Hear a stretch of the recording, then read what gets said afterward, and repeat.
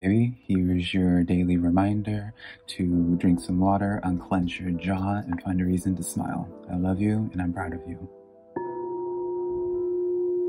Hey girl. Hello, my beautiful Aries. How are you doing?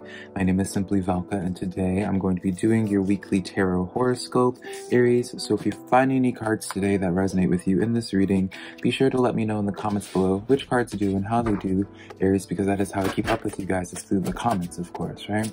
Also, if you do enjoy this tarot reading or you just enjoy my vibe, Aries, I'd really be appreciative of it if you were to give this video a like and subscribe, because it does help out my channel a lot, and I am super appreciative of it when you guys take that extra step to support my reading channel in that way.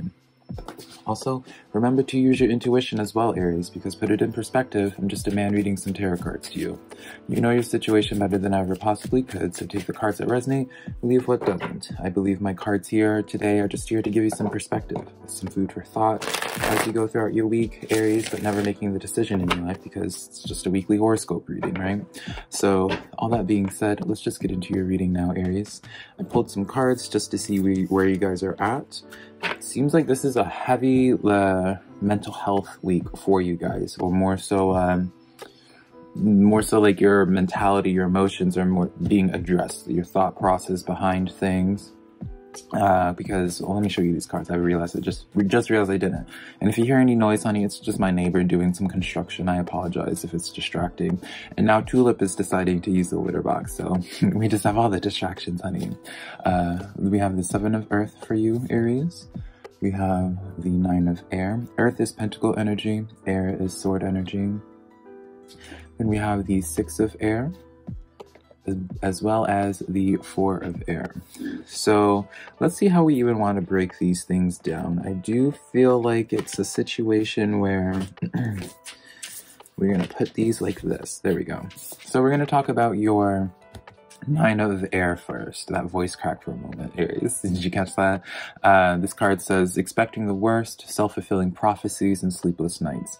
Now, Aries, this is the energy that I feel like you're coming out of right now. I feel like there's been something that, especially remembering your last week's reading, there's something that was, uh, almost being resolved in your head, where you're coming to terms, you're getting some closure with something that has been a, long time just like haunting you in some way where it just seems as if like just been uh, every single day like there would be something that would just like remind you of a situation and then that would just trigger like a mental spiral for you right? You, your imagination would start getting wild on things right? This could be with a person could be with this you know job situation financial stresses you know the usual right? Just the honey it can just be about living this life right now right? Everything feeling so up in the air but let's get some more detail on this card, Aries. Let's see if we can get any more specifics through tarot and seeing like what exactly was resolved for you or is in the process of you coming out of, right?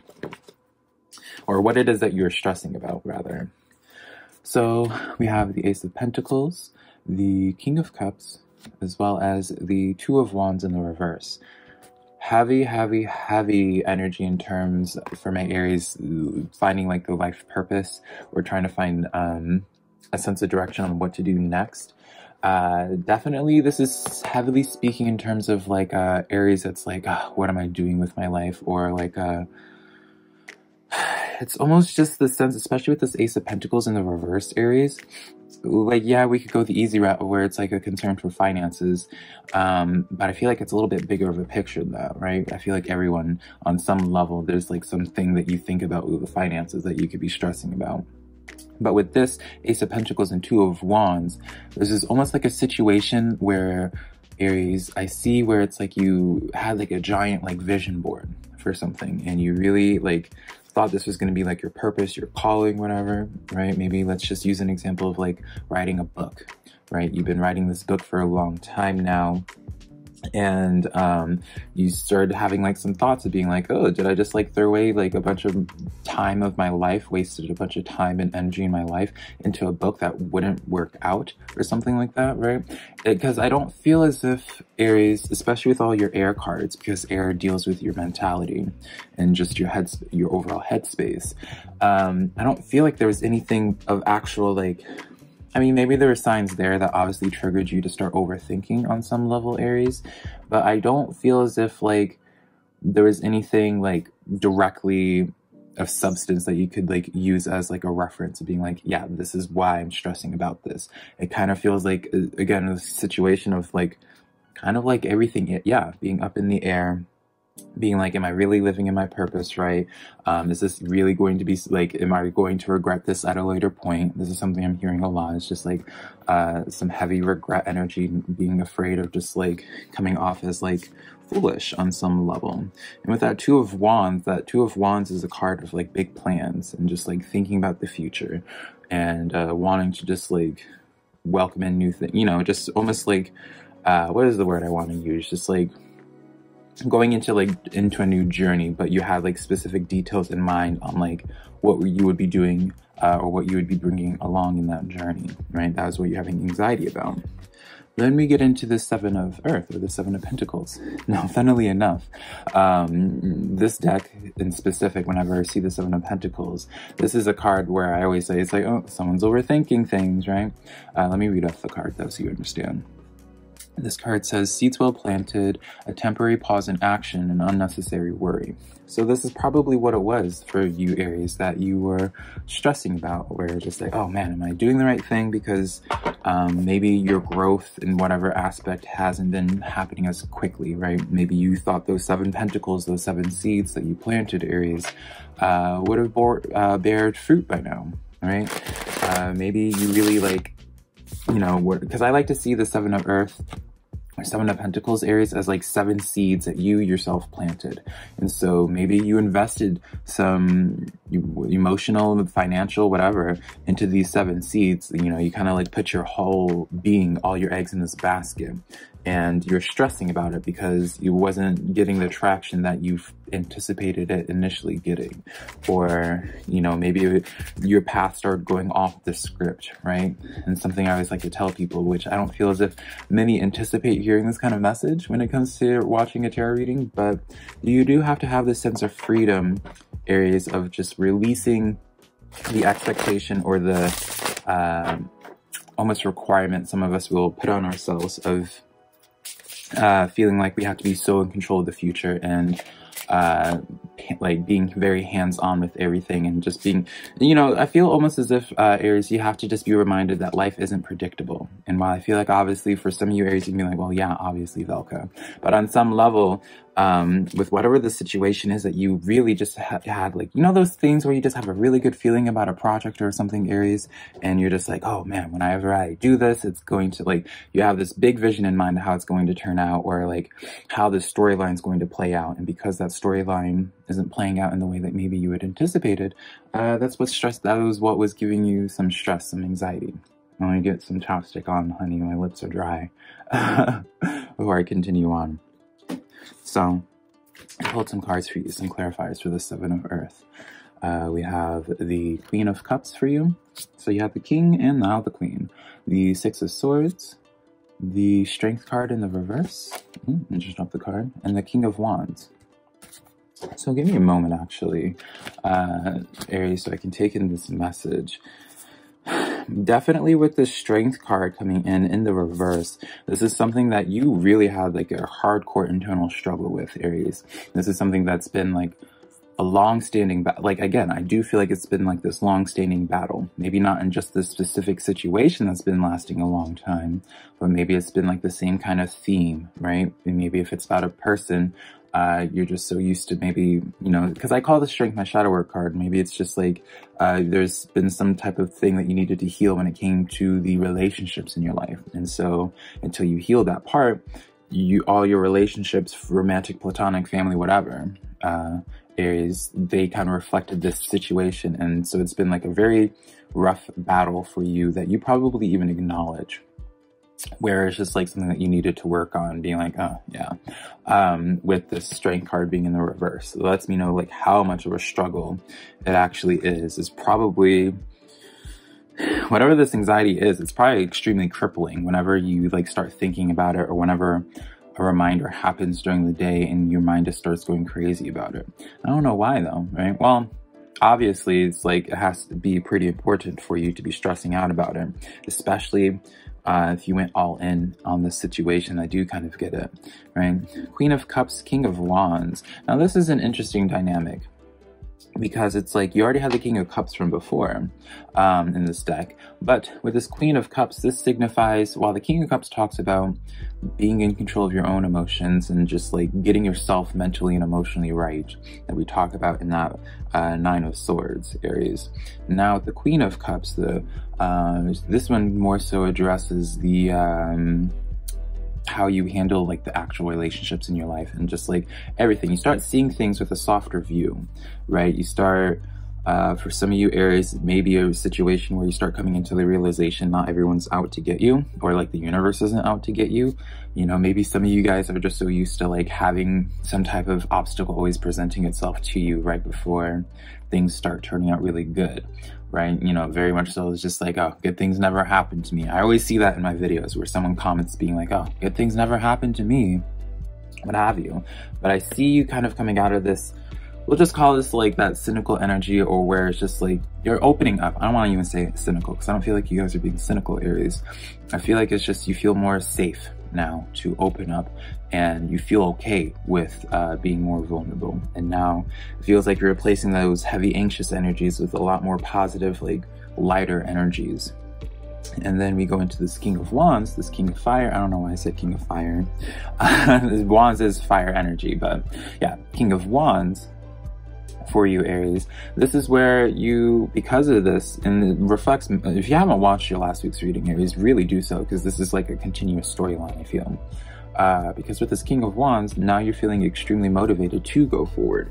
You're, you know, it's like whatever you was going on mentally and emotionally for you, uh, Aries, it really was having a pretty big impact in terms of, I'm like looking for my notepad, don't mind me.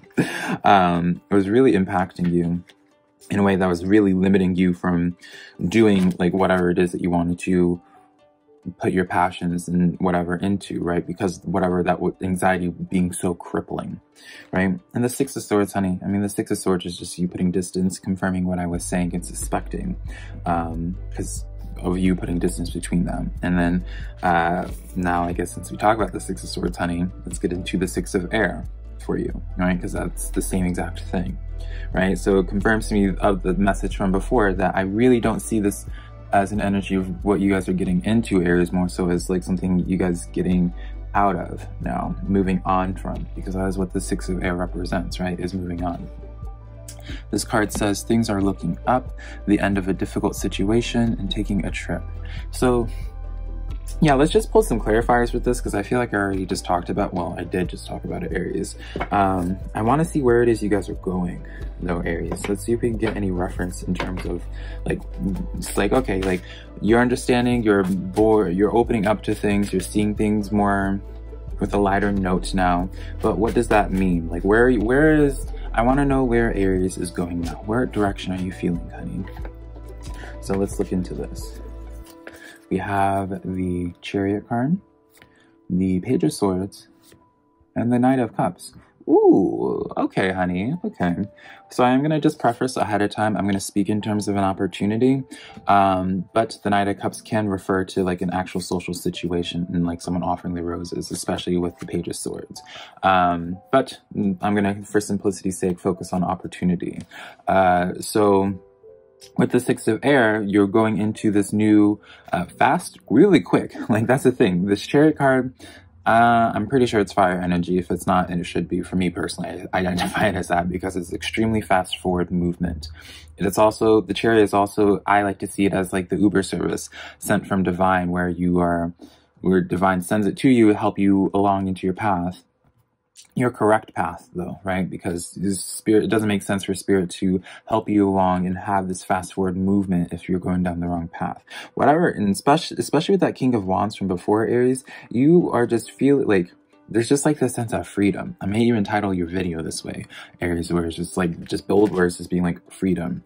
Cause it just is like, it feels like now you're seeing the world as like your oyster because your inhibitions are just dropped, right? You're communicating, you're connecting, you're opening, you're, even dare I say, Aries, like for those that have usually been a little bit more reserved, you're feeling a little bit more um, bold to uh, reach out for different opportunities, to connect with people who could bring you different opportunities, right? Um, to open the doorway for you into some things. Maybe for some of you Aries, um, definitely, I just get this sense of, especially with the Page of Swords, you've kept your eye on something being like, ooh, this would be fun to uh, do, but you, whatever was holding you back from before, never could do. Now, if this is all about the same situation with the person, Aries, uh, this would definitely be about I see you guys reconnecting in the sense of like then going into collaborative energies as well. Um, if this is like like you coming out of this old situation because I don't feel like you get because we're not getting a death card like knock on wood honey we're not getting a death card for you so I don't really see like closures to anything necessarily I just see like finality a sense I just see like whatever happened, you just feel better about a situation. And once you feel better about the situation, it's like full steam ahead of growth with this person, if this person's included in some way. And so now we get into this Four of Air, Four of Swords energy for you, Aries. This card says, time to take a rest or vacation. Allow more time before making a decision, and meditation may provide the answer. So Aries, with this, this is a situation of, you know what? I really like this. The Four of Swords already is just like the epitome of like healing, uh, coming to terms with things and just feeling extremely at peace. So now I want to see a little bit more detail on this though, of like what this means for for you Aries. What can we be excited for you in this way after you have this, like, because maybe for some of you guys, keep in mind, like you guys haven't fully came into this healing process, um, full complete closure process. But once you do, let's see what happens, right? So we have the World card, the Ten of Swords in the reverse, the Five of Swords, lots of swords, I'm telling you, Queen of Cups, Whoa, this pile alone, honey, is just kind of like summarizes your reading, right? So the Ten of Swords, when the sword, when Ten of Swords is in the reverse, I know there's no swords here, honey. It's just the swords, rep- like ravens in this deck, it represents are represents the swords technically. Um, but when it's normal tarot with the swords, when the swords are pointed up, that means open communication. So really referencing that Page of Swords from before, I really do feel like communication is such a key component to this because again, Queen of Cups comes in where you feel better about a situation. You feel just a lot more loving and tender towards like people and things. And you just feel a lot lighter. Five of Swords and this World card coming in. This is the cycle you're closing off, right? The Aries are finally done overthinking at least a situation. Maybe we can just be super optimistic and say it's like, oh, my Aries are just done overthinking in general, right? But you, whatever has been just like sitting in your head, haunting you for a while, just you couldn't get it out of. World card comes in as just, I see that cycle just being completed. Whatever it is you needed to heal, honey, Aries, you really did it. I want to celebrate you for that.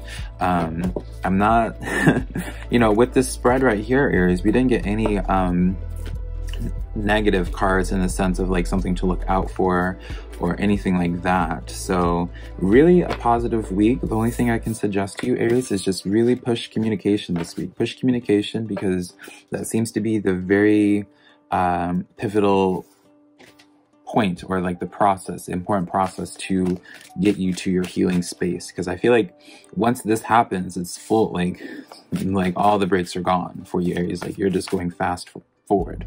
So um, yeah, now I'm going to be getting into my Aries, those who are interested in hearing about their love and social situations as well as their career. So we're going to start with my Aries love and social situations. Let's see right here what's going on now.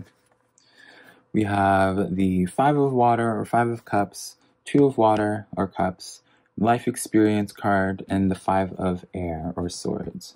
So Aries, in terms of your social life, uh, I'm going to kind of, I'm willing to put money on probably the majority of this reading in the general portion is associated with the social situation. Because this life experience card is the tower card in normal tarot, I'm pretty sure of where it's just notice a significant life event, which is kind of just like things crumbling, this old pattern, this old thing, a powerful revelation that leads to change, right? That which is what I was talking about and hinting at with that Queen of Cups and the all those air cards that we had before. Time to spread your wings, right? This really just breaks down like your inhibitions are down, you just feel free, right? Two of Cups, were just this really good card confirming to me of um, you two coming together.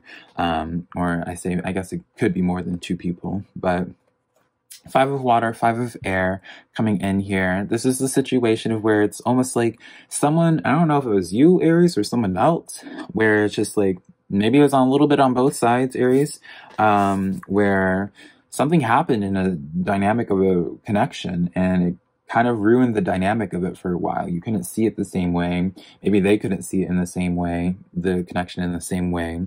I really do see you guys coming out of it though. Like, and I don't see this in a sense of like closing the door on their face and just being done washing your hands clean of it. I see you guys just coming like, I don't know, just like really practicing forgiveness, honey, it seems, or just moving on. So, really good reading for that. Definitely let me know what this is about, Aries. I'm being really nosy now. So now let's see what's going on. Let's get a quick update for my Aries and their career financial situation. What's in the works, honey? So eight of water, nine of earth, three of fire. Ah, hmm.